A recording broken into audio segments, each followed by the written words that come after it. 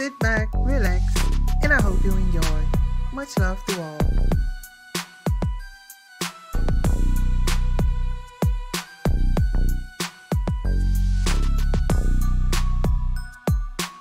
There are 16 possible outcomes, which are classified in different ways.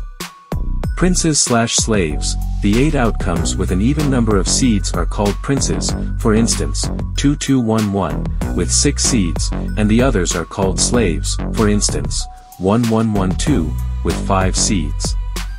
Cardinal directions, the 16 outcomes are classified according to the four cardinal directions.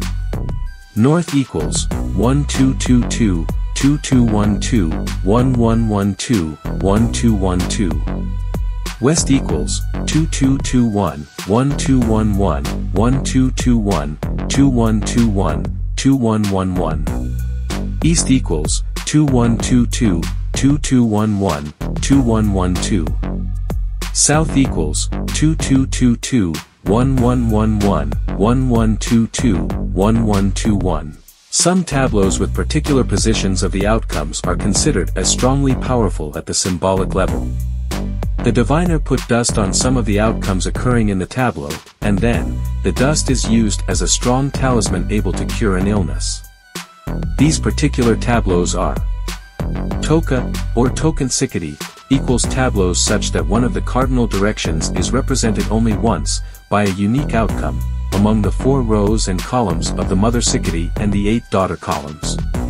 Double Toka tableau, Fohats equals tableaus such that an outcome is repeated at least eight times in the tableau, among the four rows and columns of the mother Sikidy and the eight daughter columns. Another way to use the tableaus is related to the divining practice itself. In this case, the mother Sikidy is chosen randomly, by taking 16 piles of seeds and reducing them to one or two seeds by deleting them two at a time. Thank you for watching. I hope to see you again much love.